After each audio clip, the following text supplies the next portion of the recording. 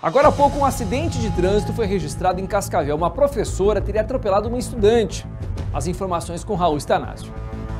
A gente percebe a movimentação dos bombeiros aqui no local, socorrendo uma criança de apenas 8 anos de idade, um menino que foi atropelado na Avenida Interlagos, na região do bairro Interlagos. O movimento aqui é bastante intenso de pessoas, então tanto o médico na viatura, ambulância do CIAT e agora o oficial de área, saindo em direção ao hospital universitário. Fomos informados agora que esse garotinho será levado ao hospital universitário. Então, movimentação do CIAT nessa ocorrência registrada nesse fim de tarde de sexta-feira aqui na cidade de Cascavel. Polícia Militar aqui também no local. O que chama a atenção nessa informação é que esse garotinho é aluno dessa escola aqui. E ele saiu da escola, ao atravessar a avenida, ele foi atropelado pela própria professora.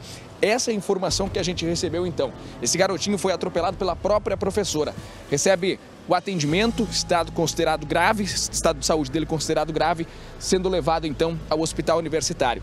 Nesse momento, tanto a ambulância quanto os veículos de apoio deixando o local da ocorrência com esse garotinho até o hospital universitário torce pela recuperação. O trânsito requer atenção demais, ainda mais quando envolve criança.